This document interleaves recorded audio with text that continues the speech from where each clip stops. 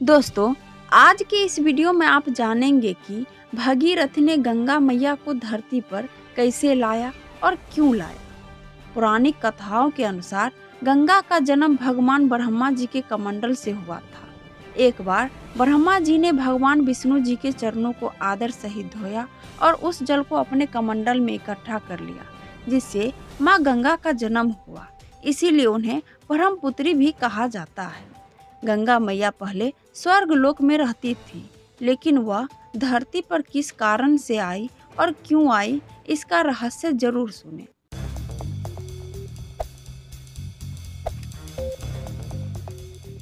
कहा जाता है कि उस युग में बहुत प्रतापी राजा हुआ करते थे, और राजा बलि के बाद राजा सागर भी उन्हीं में से एक थे। उस युग में राजा अपने साम्राज्य को बढ़ाने के लिए एक यज्ञ किया करते थे जिसे अश्वमेघ यज्ञ भी कहा जाता था। इसमें घोड़ा को छोड़ा जाता था। अगर जो कोई भी उस घोड़ा को पकड़ लिया तो उसे राजा के साथ युद्ध करना पड़ता था। एक बार राजा सागर ने भी ऐसा ही अश्वमेघ यज्ञ किया था और घोड़ा को छोड़ दिया। पर उस समय इंद्रदेव को ये भय था कि कहीं घोड़ा स्वर्ग से गुजरा तो स्वर्ग का ऐसा राज्य राजा सागर के पास चला जाएगा और यदि वह घोड़ा पकड़ लिया तो राजा सागर से युद्ध जीतने की भी कोई उम्मीद नज़र नहीं आ रही थी। ऐसी स्थिति में इंद्र ने बहुत ही चालाकी से सोच समझकर निर्णय लिया और भेष बदलकर घोड़ा पकड़ा और उसे कपिल मुनि के आश्रम में बाँध दिया। राजा सागर को इस बात का पता चला कि उनका घोड़ा किसी ने पकड़ लिया है तो उन्होंने गुस्से में आकर साठ हज़ार पुत्रों को युद्ध करने भेज दिए। कपिल मुनि अपने आश्रम में ध्यान लगाकर बैठे थे।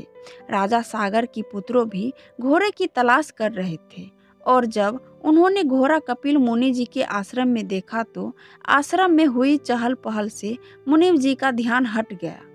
तब राजा के पुत्रों ने मुनिम जी पर घोड़ा पकड़ने का झूठा इल्ज़ाम लगाया।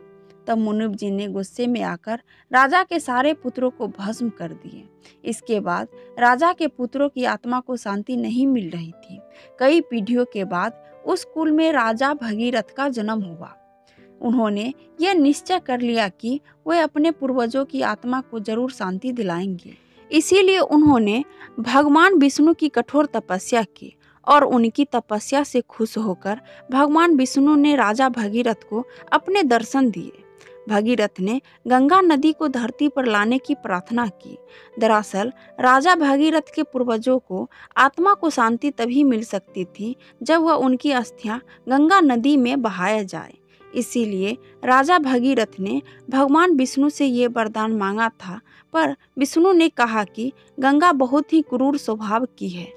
पर जब विष्णु जी ने गंगा माँ को धरती पर आने को कहा तो वह बहुत मुश्किल से धरती पर आने के लिए राज़ी हुई।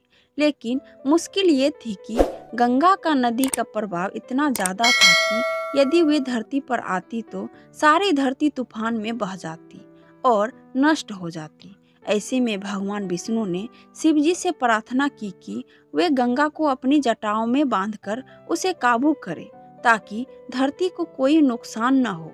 जब गंगा बहुत तीव्र गति से धरती पर उतरी तो तब चारों तरफ़ धरती पर तूफ़ान सा छा गया।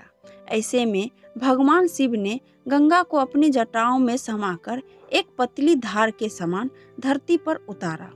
इस तरह गंगा का धरती पर प्रवेश हुआ।